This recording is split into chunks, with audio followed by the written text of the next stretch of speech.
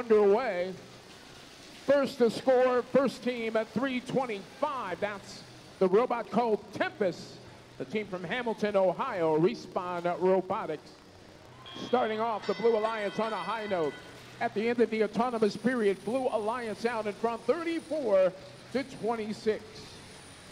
Teleoperated period now underway. Here comes Red Alliance. Team number 67, the hot team, placing multiple pieces of cargo in the upper hub. Team number 180, Cape Flying. Team Spam, they call their robot Soft Swerve. Dancing across the field, landing lights currently on. Big squad for the Blue Alliance, 40-28 on the move. Far side of the field, they shoot and score. One piece of cargo scored in the upper hub. They come back, add two more. But the Red Alliance is relentless, continuing to score cargo after cargo. 82-69, unofficial your score. Red Alliance out in front. One minute remaining in the match. Here come the Killer Bees. That's team number 33 for the Red Alliance. Far side of the field.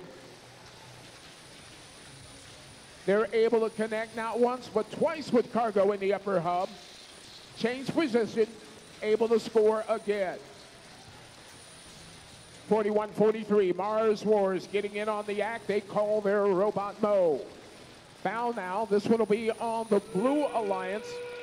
Referee on the far side of the field had their eye on Respawn Robotics. 20 seconds remaining. We're in the end game.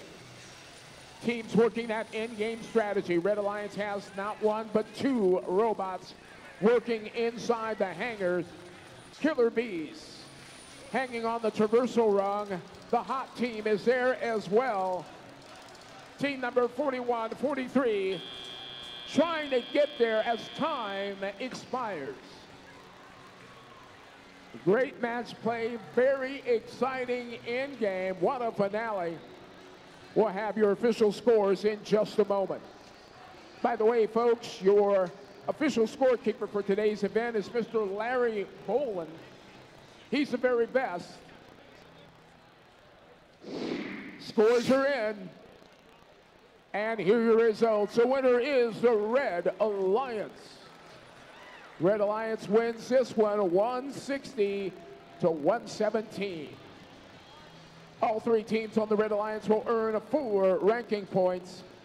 That's points for cargo, for hangar performance, and of course for the win. Coming up next, qualifying match number three.